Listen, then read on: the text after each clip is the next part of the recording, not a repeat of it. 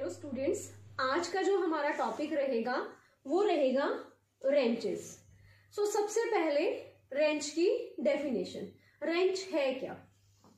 System of forces is reduce to a single force say R of magnitude R and a couple of moment K whose axis coincide with direction of acting force Then R and K taken together are called range of the system and it is denoted by R K. ठीक है अब सबसे पहले when we have system of forces system of forces then हमने ये किया था कि जो सिस्टम ऑफ़ फोर्सेस आपके पास हैं वो हम रिड्यूस कर सकते हैं एक सिंगल फोर्स आर में सबसे पहले हमने किया था The system of forces can be reduced to a single resultant force R together with a couple of moment G. Clear? सबसे पहले हमने ये चीज की उसके बाद what we did we did that the axis of this resulting force line of action of this resulting force R and the axis of this couple G resultant couple G can uh, when coincide together then the axis is called central axis पहले, सबसे पहले तो system of forces में आपके पास, हमने system of forces को reduce किया सिंगल फोर्स आर में, और एक कपल जिसका रिजल्टेंट मोमेंट था जी उसके बाद हमने क्या किया? इस रिजल्टेंट फोर्स आर और इस कपल की एक्सेस को सेम कर दिया, ठीक है?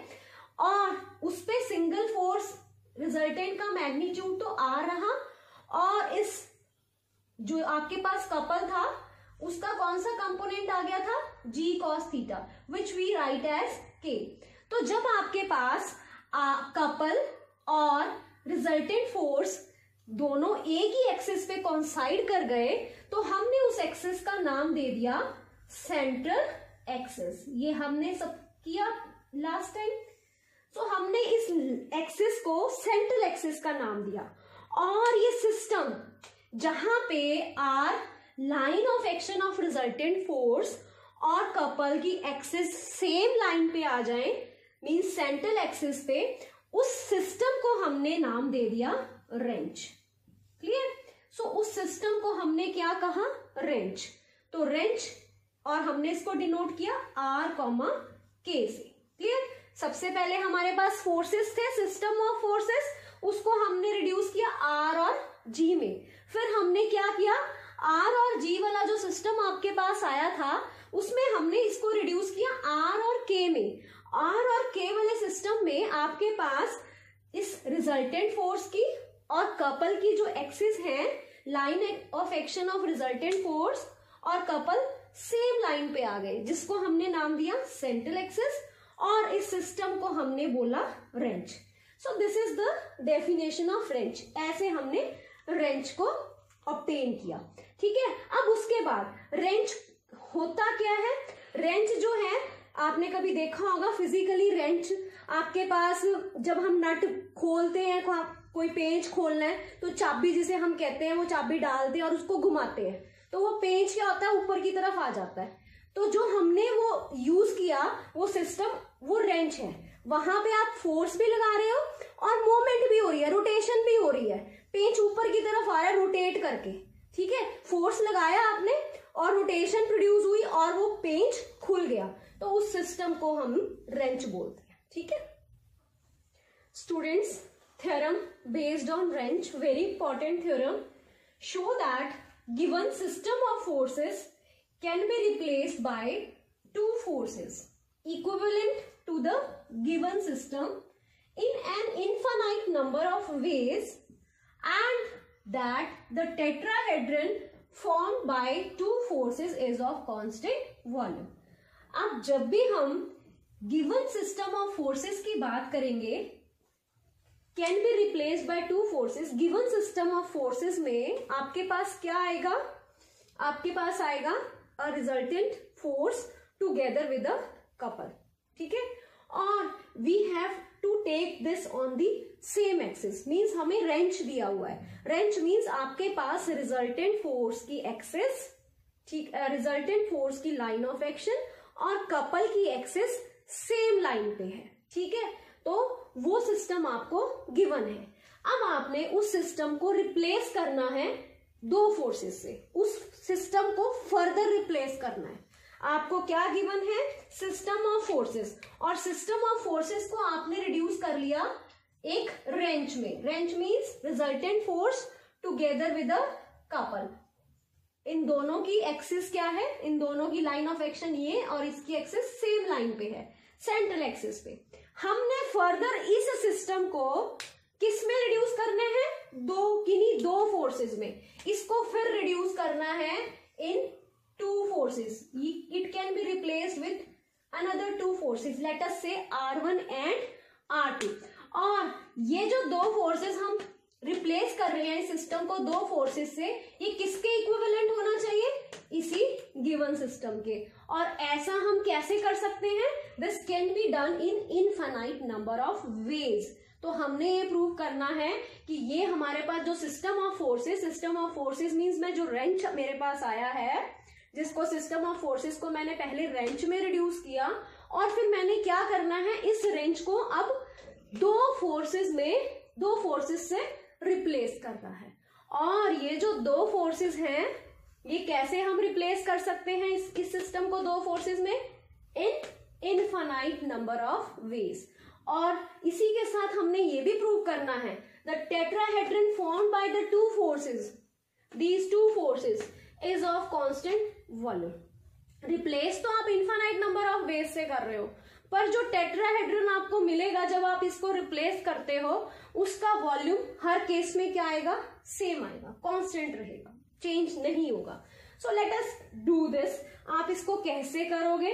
Let us take a system of forces system of forces को हम रिड्यूस कर लेते हैं रेंज में। We can reduce a system of forces to wrench अब तो हम कर सकते हैं पहले आपके पास सिस्टम ऑफ़ फोर्सेस को आपने रिड्यूस किया आर कॉमा जी में, फिर इसको आपने रिड्यूस कर लिया आर कॉमा के में वेयर के इज़ जी कॉस थीटा ये आप कर चुके हो पॉइंट्स और सेंट्रल एक्सेस थ्योरम में. You can always reduce this to this so अब हमने क्या किया? सिस्टम ऑफ़ फोर्सेस को रेंच में रिड्यूस कर लिया. Clear so we have a wrench let us take wrench on Z axis O Z so, this is line of action of resultant force. Together with the couple of moment. अब ये range है. Let us say K R comma K is the given wrench clear so अब आपके पास this is O X Z X O sorry O Z Z axis ठीक है? अब आपने इसको रिजोल्व करना है टू फोर्सेस में. अब हम कैसे इसको कर रहे हैं? एक फोर्स हम इस तरफ़ ले लेते हैं. ठीक है? इस तरफ़ मींस ऐसे आउटवर्ड इस तरफ़ आउटवर्ड साइड ऐसे। दूसरा जो फोर्स है, वो मेरा उस तरफ़ लगेगा, ऐसे, उस तरफ़ बैक ब्लैक बोर्ड की दूसरी साइड एक तो मेरा इस साइड जा रहा है फोर्स ये ऐसे, और जो दूसरा फोर्स होगा वो बोर्ड की पिछली साइड ऐसे। ये जैसे ये दो फोर्सेस हैं, ये एक सिंगल फोर्स है आर ये बीच में आपके पास है। दिस इज़ सेंट्रल एक्सिस, ये रेड वाली सेंट्रल एक्सिस है, ये ब्लैक जो है, ये एक फोर्स आर वन इस तरफ़ और एक फोर्स ये आर टू इस तरफ़। Clear so this is the system now ऐसे है। एक इस तरफ़ है और एक बाहर की तरफ़, पीछे की तरफ़। ठीक है? सो आपके पास एक इस साइड है, एक उस साइड ये एंगल बना रहा है, इसके साथ लेटस से अल्फ़ा और ये एंगल ले लेते हैं लेटस से बीटा ठीक है? अब स्टूडेंट्स अगर हम ये फोर्स आर वन यहाँ पे ले लें और एक फोर्स आर टू बिल्कुल इसी पॉइंट पे ले ले, जहाँ पे ये पॉइंट ओ है, यहीं पे ले ले। तो क्या होगा, जब आप इसकी मोमेंट इन दोनों फोर्सेस की मोमेंट्स लोगे अबाउट दिस जेड एक्सिस तो मोमेंट्स ज़ीरो हो जाएँगी, क्योंकि इनके बीच में परपेंडिकुलर डिस्टेंस है ही नहीं शॉर्टेस्ट डिस्टेंस आपने लेना होता है। Moment about the line is F force into angle sine of the angle into shortest distance between the forces between the force and the line so ये भी हमने this is the for calculating moment of a force about a given line ठीक है? So it is magnitude of force into sine of the angle between the force and this line and into the shortest distance अब shortest distance तो इसमें है ही नहीं। तो इसका मतलब हमें कुछ डिस्टेंस पे लेना पड़ेगा।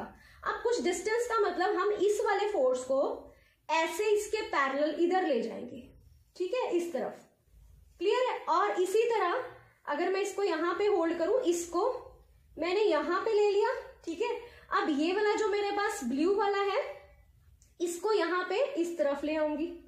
सो so, मेरे पास दो फोर्स हो जाएँगे एक उस तरफ़ और एक इस तरफ़। क्लियर है? तो मैंने क्या किया? ये वाला जो फोर्स था इसको मैं इस तरफ़ ले गई ठीक है? और यहीं पे ये वाला जो पीछे वाला फोर्स था इसको मैं इस तरफ़ ले आई। ठीक है? तो अब ये फोर्स कैसे होंगे? यहाँ पे, अभी मैं बता रही हूँ आपको, ये फोर्स इस तरह से होंगे। एक फोर्स इस तरह इधर की तरफ़, एक फोर्स इस तरह पीछे की तरफ़, ठीक है? So let me draw this so ये आपके पास आ जाएगा। बिल्कुल इसके पैरेलल ले गई जेड एक्सिस है ये। और this is now first force R one अब बोर्ड पे तो ऐसे ही दिखेगा ये, ठीक है? अब next this is R two पीछे की तरफ़ बोर्ड की पीछे की तरफ़। ड्रॉ तो मुझे ऐसे ही करना पड़ेगा। This is R two clear so हमने इसको कुछ डिस्टेंस पे डिस्प्लेस किया। This is A this is B क्योंकि इनकी, अगर मैं इसी पॉइंट पे इसको ले लेती आर वन इधर और आर टू पीछे की तरफ़ तो मोमेंट ज़ीरो हो जाती। बट सिस्टम में तो मोमेंट एग्जिस्ट कर रही है। ब्रेंच पे मोमेंट होगी, तभी तो रोटेशनल इफ़ेक्ट आएगा।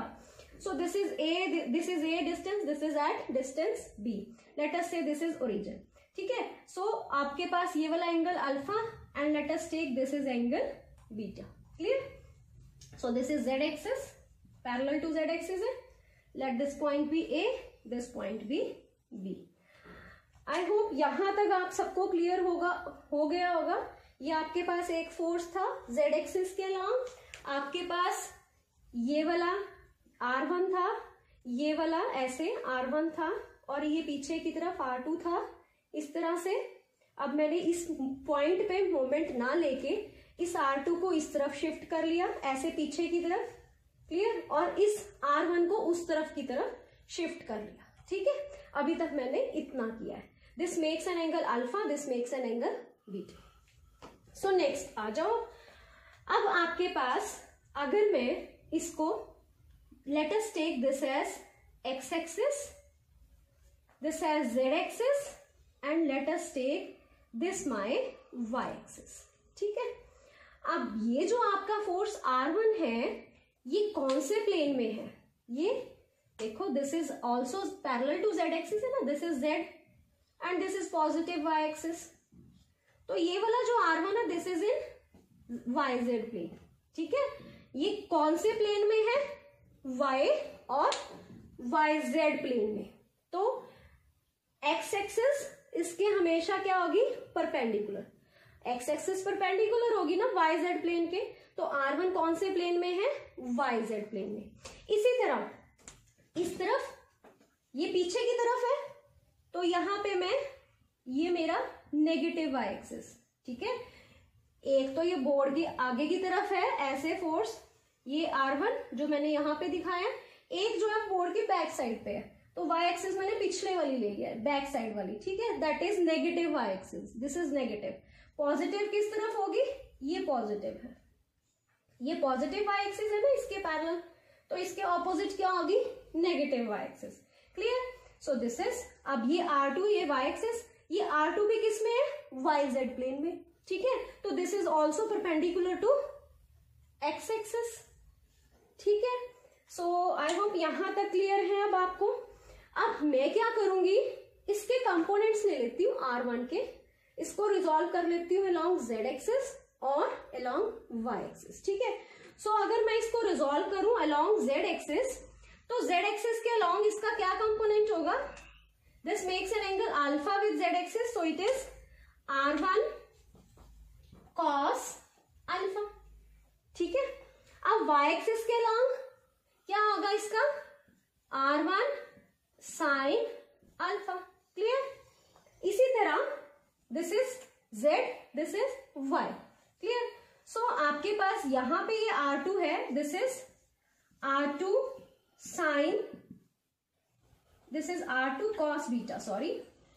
This is r2 cos beta. Along z axis is all किया this makes an angle beta with positive z axis. अब यहाँ पे z और y जो है परपेंडिकुलर है तो यहाँ पे क्या हो गया? R2 साइन बीटा पीछे की तरफ़ r2 साइन बीटा क्लियर क्योंकि ये वाला जो फोर्स है आपके पास, वो बैक साइड पे है. तो इधर r2 cos बीटा इधर r2 साइन बीटा अगर मैं इसको पॉजिटिव वाई एक्सिस की तरफ़ लाऊँगी तो ये आपके पास क्या हो जाएगा? अगर मैं इसको पॉजिटिव वाई एक्सिस की तरफ़ लाऊँगी तो ये आपके पास minus R two sine beta हो जाएगा। ठीक है? अगर वो आर टू साइन बीटा उस तरफ़ है तो ऑपोजिट साइड पे माइनस साइन चेंज हो जाएगा minus R two sine beta so students अगर आप देखो जेड एक्सिस की तरफ़ अगर मैं रिजोल्व करूँ ऑल द फोर्सेस का अगर मैं रिजोल्व पार्ट लू अलॉन्ग जेड एक्सिस तो आपके पास जेड एक्सिस पे कौन कौन से फोर्सेस लग रहे हैं? This is R one cos alpha plus R two cos beta which is equal to R resultant force that is R उसके बाद, अगर आप यहाँ पे वाई एक्सिस के लॉन्ग देखो वाई एक्सिस के long one sine beta plus minus R two sine beta और इस पॉजिटिव वाई एक्सिस के लॉन्ग तो इस रिजल्टेंट फोर्स का कोई कंपोनेंट है ही नहीं, ठीक है? ये रिजल्टेंट फोर्स जेड एक्सिस के साथ तो एंगल बना रहा है zero this is R cos zero और वाई एक्सिस के साथ कितना बना रहा है? आर कॉस नाइनटी जेड और वाई ठीक है? तो R cos ninety is zero तो यहाँ पे इसका कंपोनेंट क्या हो जाएगा? Zero so it means first अगर मैं इसको रिजोल्व करूँ along z axis so it is R two cos beta R one cos alpha is equal to R और अगर वाई एक्सिस के अलोंग रिजोल्व करूँ it is R one sine alpha plus minus R two sine beta is equal to zero क्योंकि यहाँ पे R cos ninety है। So so, यहाँ तक आई होप क्लियर है। अब हम इसको जो मैंने अभी तक एक्सप्लेन किया है, इसको अब हम लिखेंगे थोड़ा सा उसके बाद मैं आगे प्रोसीड करूँ, ठीक है? सो स्टूडेंट्स अभी मैंने डायग्राम तो आपको एक्सप्लेन किया, अब हमने लिखना कैसे है, ठीक है? हमने कहा से स्टार्ट किया था? आर के से, ठीक है? Let the system is equivalent to किसके इक्विवेलेंट है? Wrench R comma K lies on central axis O Z फिर this is lying on the central axis O Z let the resultant force of magnitude r lies on OZ and a couple, a resultant couple of moment K also lies on axis OZ. अब उसके बाद हमने क्या किया था? A B perpendicular let draw A B perpendicular to O Z such that such that O A is equal to A and O B is equal to small ठीक है? Let the resultant system resultant system be resolved into two forces R1 and R2 making an angle alpha and beta respectively with OZ with OZ ठीक है? और क्या है? Also and also lies in the plane in the plane perpendicular to A B ठीक है? ये किस plane में है? The plane which is perpendicular to A B means R one and is in YZ plane and R2 is also in y z plane so हमने ये सारा लिख लिया सबसे पहले हमने एक सिस्टम को लिया which is equivalent to wrench R comma K उसके बाद आर क्या है it is resultant force of magnitude R lies on OZ and resultant of couple of moment K also also lies on OZ. Let us draw AB perpendicular to OZ such that OA is A, OB is B. And the system be resolved two forces R1 and R2 making an angle alpha and beta respectively with OZ and also lies in the plane perpendicular to AB. Clear? So अब हम इसको आगे solve करते हैं.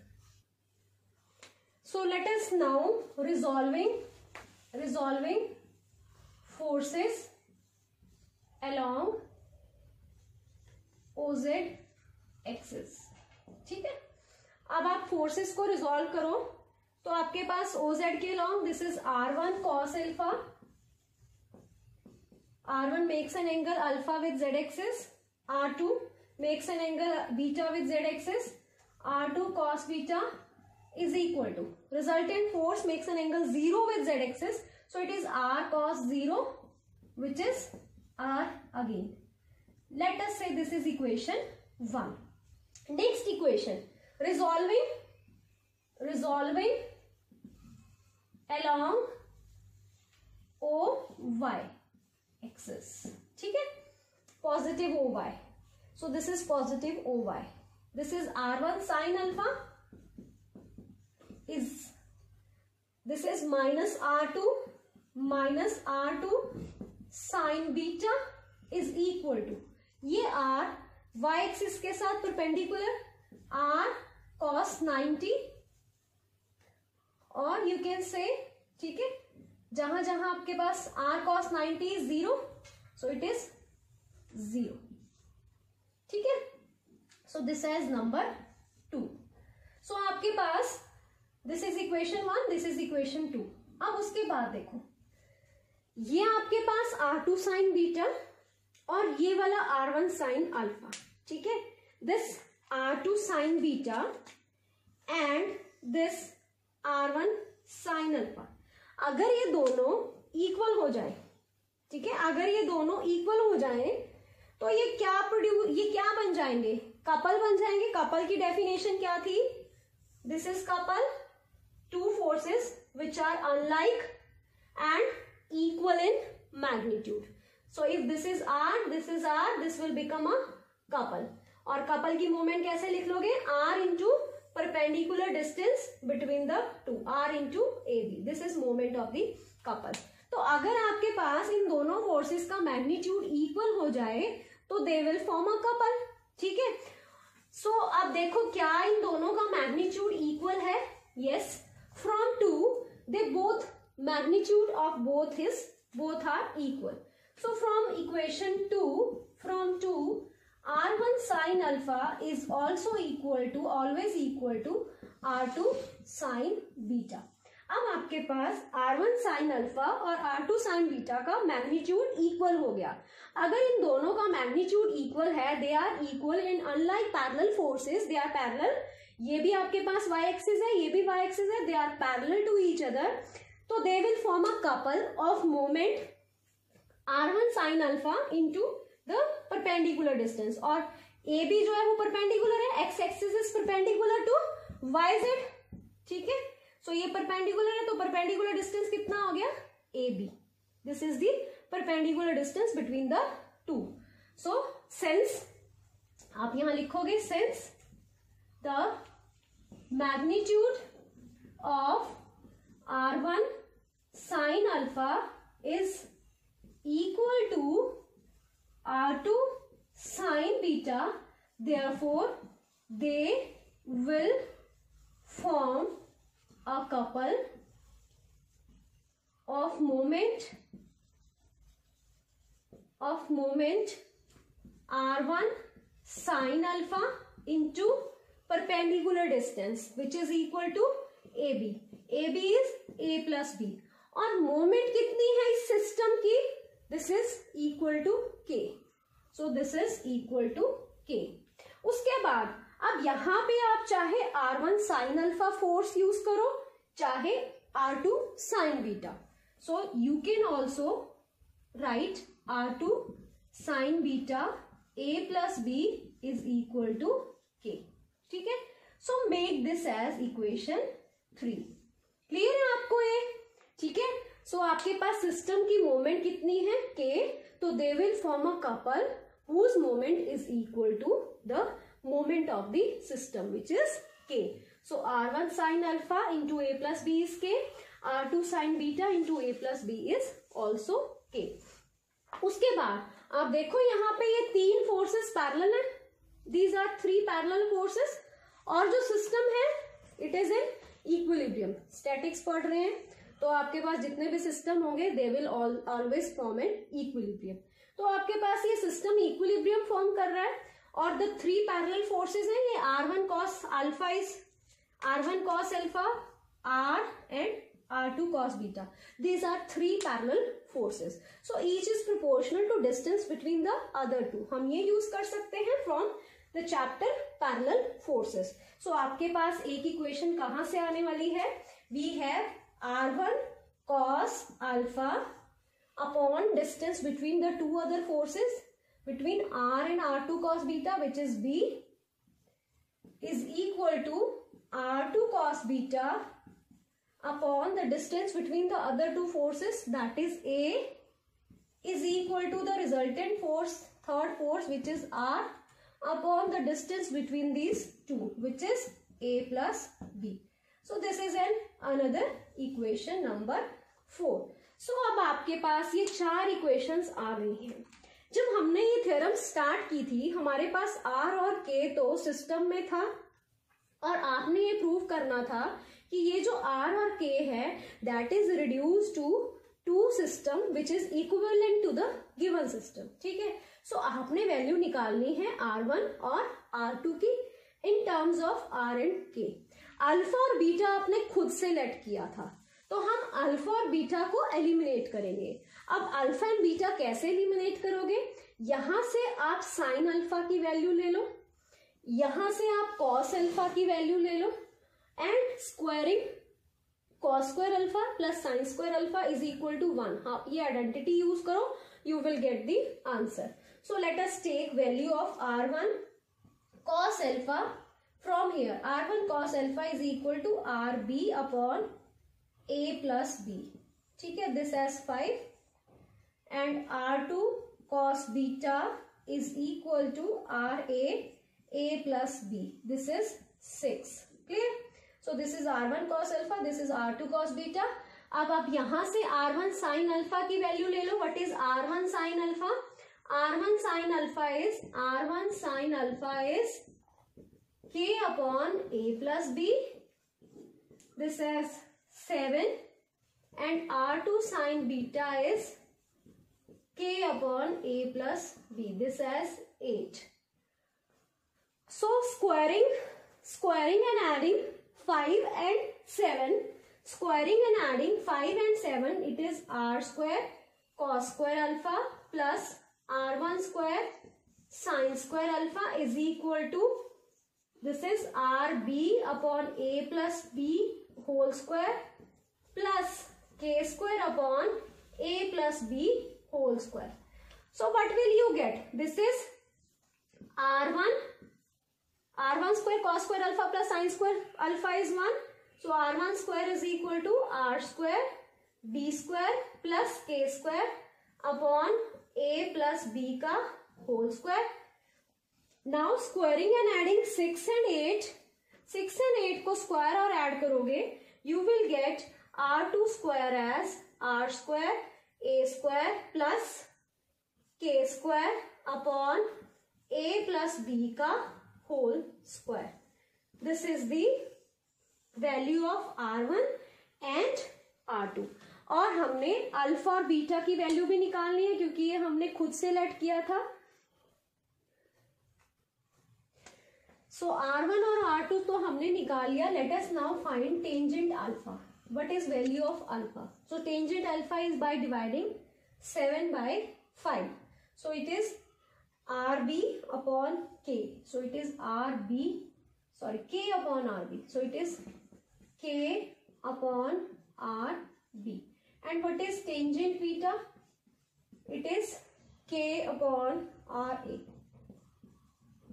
clear so अगर आपको R और के गिवन है एक सिस्टम के लिए ए और बी की वैल्यूज़ भी पता है you can find R one R two tangent alpha tangent beta ठीक है?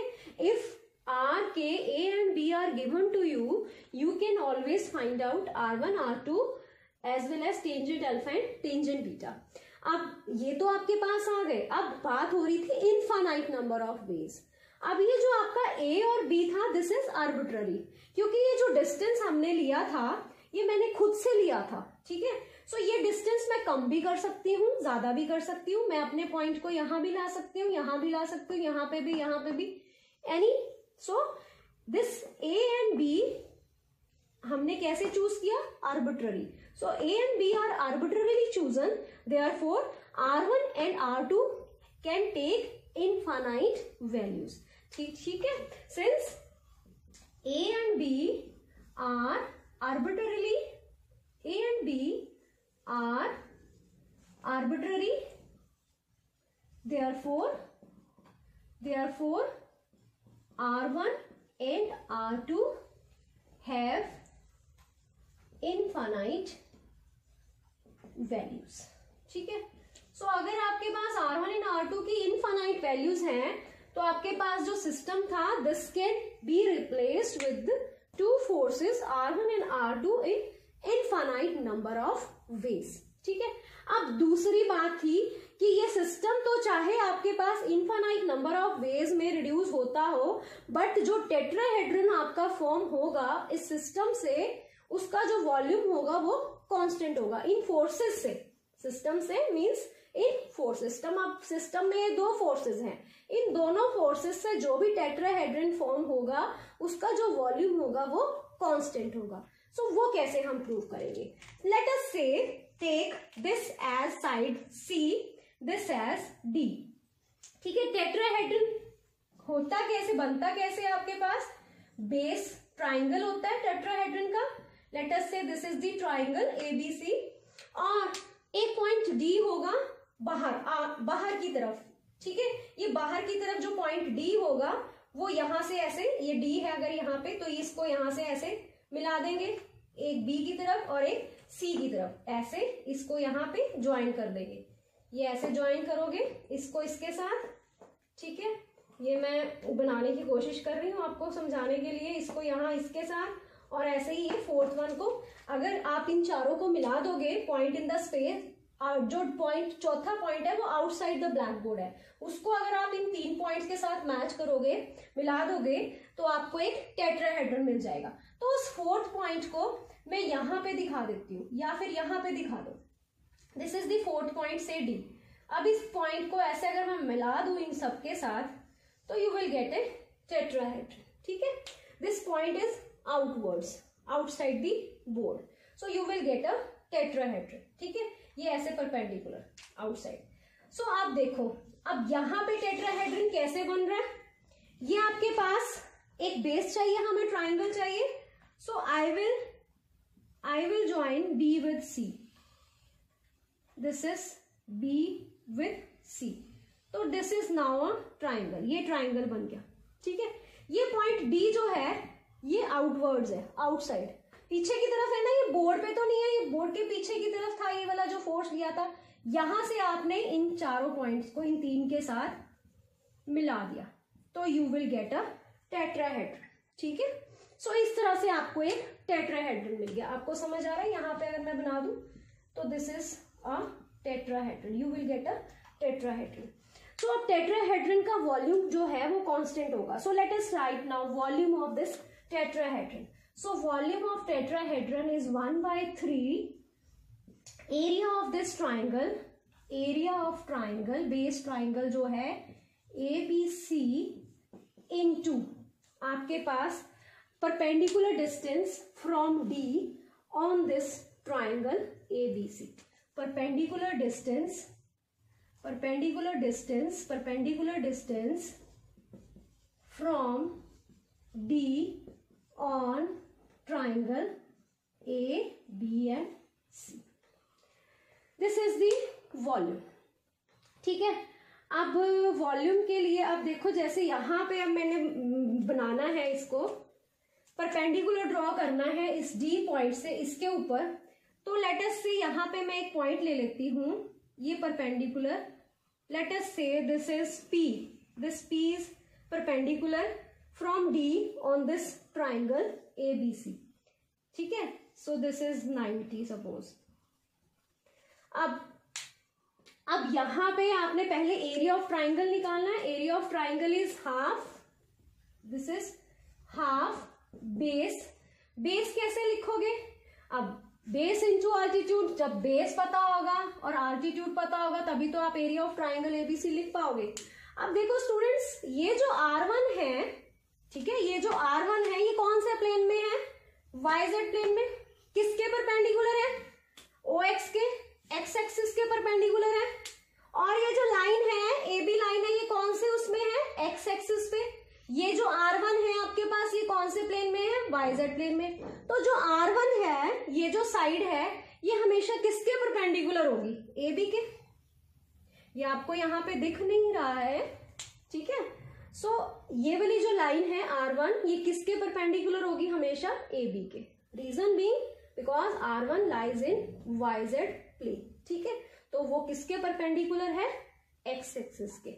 So it is perpendicular to A B तो अगर ये आर वन ये साइड ए सी जो है मैग्नीट्यूड जिसका आर वन है वो किसके परपेंडिकुलर है?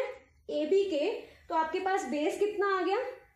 ए बी और आल्टीट्यूड कितना आ गया? A C so this is half base base is A B and magnitude is A C this is A C अब आपका रह गया perpendicular distance from D on triangle A B C अब देखो परपेंडिकुलर डिस्टेंस अब perpendicular distance आप कैसे निकालते हो?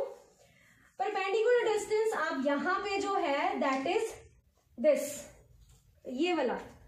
दिस इज़ डीपी ठीक है? This is the perpendicular distance from D on this triangle A B C ये आप कैसे निकालोगे? ये सपोज़ कोई एंगल है आपके पास। अब हमें नहीं पता ये कौन सा एंगल है। हम लिखेंगे DP is equal to is equal to right triangle है ये? Is equal to right triangle में अगर हमने डीपी निकालना this is perpendicular this is hypotenuse so it is sine so it is B D B D का magnitude तो R two है. B D into sine of angle between किस किस के बीच में एंगल है? B D and B D and BP इन दोनों के बीच में एंगल है. ठीक है? ये जो बीपी है,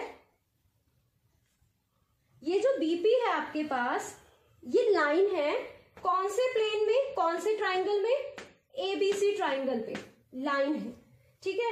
तो आपके पास ये जो एंगल ले रही हूँ मैं this angle is angle between this B D and any line on this triangle ABC कोई भी लाइन है ठीक है? सो so, मैं ये लिख सकती हूँ कि अगर ये इस लाइन के साथ अब अगर ये वाला आपके पास पॉइंट सपोज़ मेरे पास ये डी जो है ये परपेंडिकुलर है इस प्लेन के ऊपर तो ये तो नहीं कह रही मैं कि इसी पॉइंट पे ये जो पॉइंट इस लाइन से पास करेगी उसी के ऊपर परपेंडिकुलर है।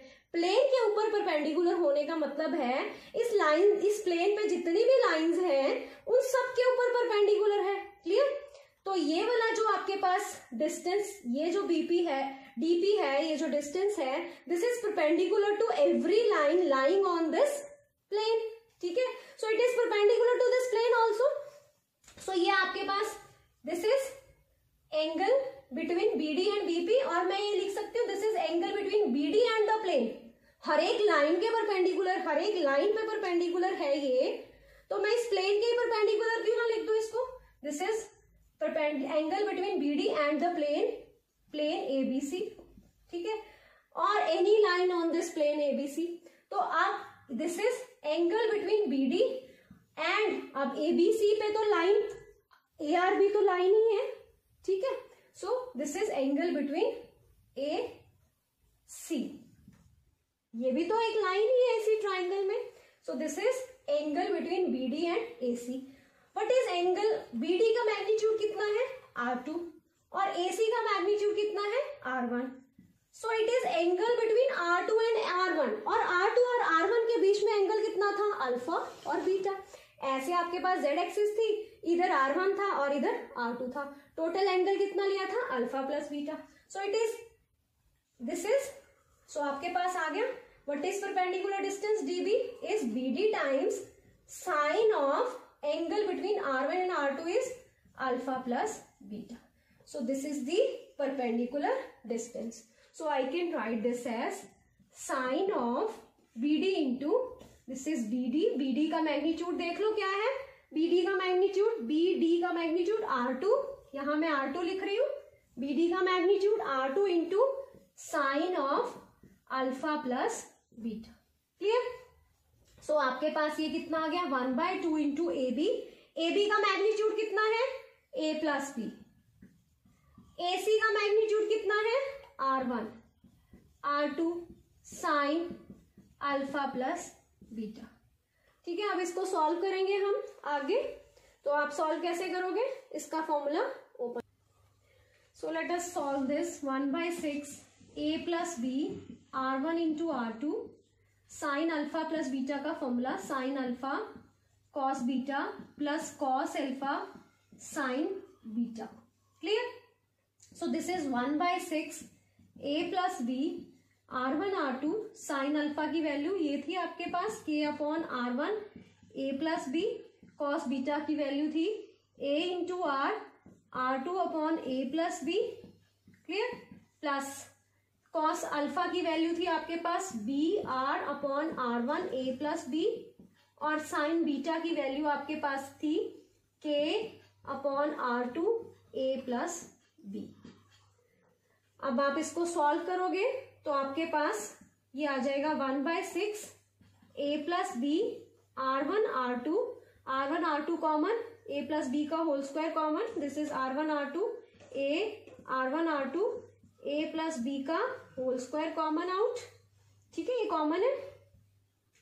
तो you have K A are plus K A K B R K times B R K और आर कॉमन तो ए प्लस बी से A plus B cancel so आपके पास क्या आ जाएगा? One by six R one by R two cancel K R so this is volume of tetrahedron tetrahedron कौन सा टेट्राहेड्रन था? A B C D it is one by six K R और किसी भी सिस्टम के लिए one by six तो वैसे ही कांस्टेंट नंबर है। K is constant and R is fix so it is constant value. तो हमारे पास वैसे तो R1 और R2 की बहुत सारी वैल्यूज़ आई थी depending on A and B यहाँ पे ये A और B पे डिपेंड नहीं कर रहा। This is independent of A and B this is depending only on the value K and R which is fixed for a system so the volume of tetrahedron obtain A B C D is of constant volume so this completes the theorem so thank you for watching the video.